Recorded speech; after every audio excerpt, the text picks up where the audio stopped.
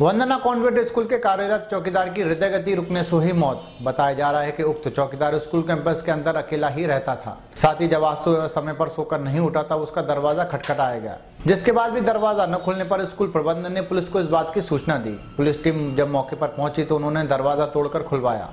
तब देखा कि उक्त चौकीदार का शव पलंग पर ही पड़ा हुआ है जांच के बाद पता चला कि उक्त युवक की मौत हृदय गति रुकने की वजह से हुई है